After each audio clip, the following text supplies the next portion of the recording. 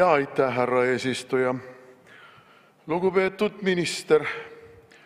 Lugupeetud valitsus ja õnnetu Eesti rahvas! Mitte ühtegi tõsiselt võetavat põhjendust me ju siin ei kuulnud. Me kuulsime siin aga väga palju sõna otseses mõttes naiivset õhu võngutamist. No mis jutt see niisugune on, et need on konsultatsioonid? Need on ju kohtumised, kus teine pool ütleb meile, mida ta tahab ja mida me peame vastu võtma. Ja kes on andnud neile volitused, nendele ametnikele, pidada niisugusi ühiskonna alussambaid tegelikult ja Eesti riigi suveräänsust kõigutavaid läbirääkimisi? Teie andsite need volitused, minister ainuisikuliselt andis või? Valitsus, mis on ka ajutine, iga mõne aja tagant muutub valitsuse koosseis. Kas valitsus andis või? Kas rahva käest on küsitud? Kas omavalitsuse käest on küsitud? Kas parlamendi käest on küsitud? Ei ole küsitud. Ja siis te tulete siia ja räägite, meil on väga kindlad punased jooned.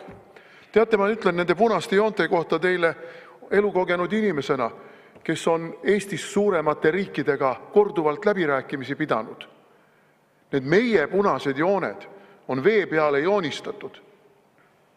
Ma olen siinsamas majas käinud, tollal peaministriks oli Tiit Vähi ja me pidasime läbirääkimisi venelastega piiriteemadel ja Tiit Vähi võttis ka kaardi ette ja hakkas sinna ka punaseid jooni tõmbama.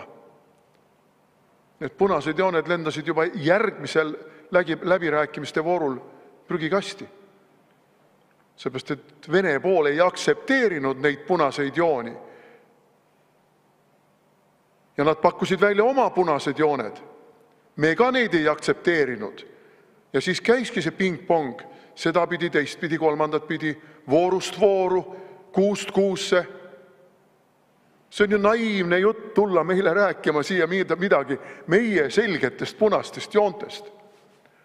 Eriti veel olukorras, nagu ma ka küsisin kohapealt, kus see riik, kellega me läbirääkimisi peame, teeb siin regulaarset õhuturvet, on siin juba sõjaväelastega, kavatseb siia tuua, ma ei tea, lisabrigaadi, lisapataljoni, mis iganes. Me oleme ju nende alltöövõtjad.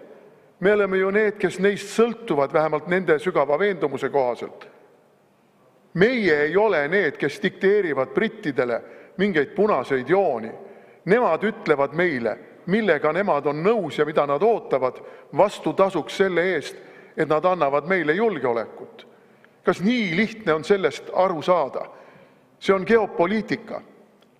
Seda nimetatakse rahvusvahelisteks suheteks. Aga no te ei saa sellest aru. Te keeldute sellest aru saamast. Teil on ettekujutus, et maailm keerlebki siin Toompeal. Ei keerle. Maailm ei keerle Toompea ümber. Toompea keerleb maailma ümber. Ja nüüd siis veel ka see, et meil on, mõtle, missugune tragöödia. Meil on tühjad vanglad. No tore, et meil on tühjad vanglad. Kui meil on tühjad vanglad, siis meil on tegemist hoonetega. Ja jällegi, elukogenud inimesena, kes on tegelenud natukene ka kinnisvaraga, ma võin teile öelda, igasugune kinnisvara on mingis ulatuses likviidne. Seda on võimalik müüa, seda on võimalik ümber ehitada, seda on võimalik välja rentida, sellega on võimalik väga palju asju teha. Ja niimoodi, kas te tahate mulle öelda, et selle Tartu vangla ümberehitamise ja, ja mahamüümisega või ka lihtsalt mahamüümisega ei ole võimalik teenida Eesti Vabariigi eelarvesse 30 miljonit või? Ja mis raha on üldse 30 miljonit? Meil on siin Eestis inimesi, kellel on sadu miljoneid eraisikuid. See pole mingi raha riigieelarve vaates. Aga te räägite meile nagu see oleks mingisugune messias ja samal ajal me paneme kinni rahvamaju, palun lisaaega Kolm minutit lisaaega, palun! paneme kinni rahvamaju, paneme kinni koole, likvideerime siin igasuguseid transpordiliine ja mida iganes, sest kokkuhoidu on vaja teha. See ei ole ju tõsiseltvõetav jutt. See pidi olema nüüd Eesti Vabariigi pikaajaline initsiatiiv. No ma ei tea, kui pikaajaline. Meie olime valitsuses ju mitte väga pikka aega tagasi ja siis ei olnud sellist initsiatiivi küll kuskilt kuulda ega näha. Järelikult ta ikka väga pikaajaline ei ole.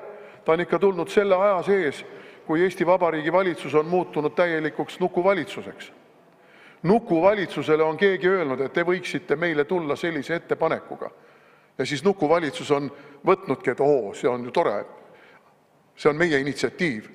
Ja siis nukuvalitsusele öeldaksegi, nii nagu ma algul kirjeldasin, et nüüd võtke või jätke, asi on selline. Et ärge sellist asja siin elukogenud inimestele kõrva puhuge, sest see kõik on lihtsalt vale.